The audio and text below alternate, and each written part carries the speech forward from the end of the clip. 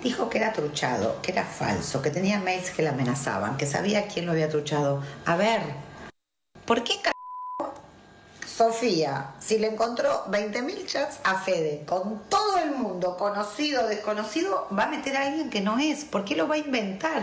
¿Por qué lo va a truchar? ¿Cómo le va a decir mala? ¿Para qué metes a un abogado? ¿Para qué amenazas? Otra. Yo hace dos días que estoy con esto. ¿Por qué no vino a mi camarín y me dijo, Yani, ¿cómo dices una cosa así? Cuando subís, subís, subís, o crees que subís, caes rápido. Porque en esta vas a decir que es trucho, quedará. En la otra día me llamó en enero a Miami para que yo no suba una foto que yo no iba a subir. No la subí. Todo lo que dice es mentira y lo inventa. Amor, esto es muy para pensar.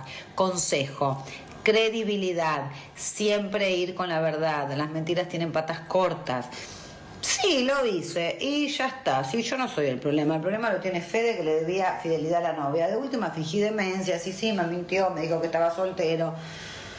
Dios mío, qué cara de piedra. Miente, miente, miente. No, tengo un mail de una amenaza. Todo mentira. El día que me llegaban los chats, mientras estábamos al aire, yo los contaba, ella me escribía mensajes y me ponía, necesito hablar con vos. Yo ese día tenía un cumpleaños y me, fui corriendo. Te puedo ver en el camarín 10 minutos, al otro día a las 8 de la mañana. Te puedo llamar, yo dormía.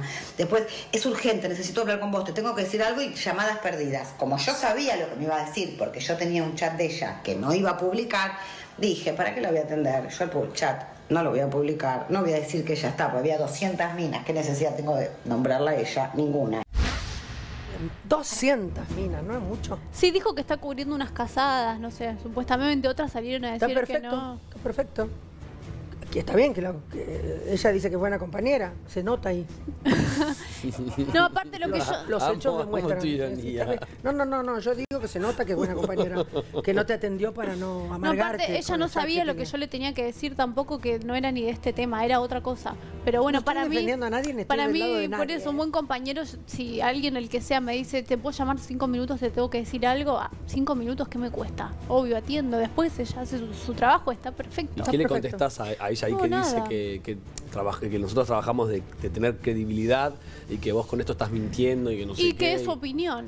Está bien, ella puede pensar lo que ella quiera. Somos todos libres de decir nuestra opinión libremente. Decir lo que uno quiere decir.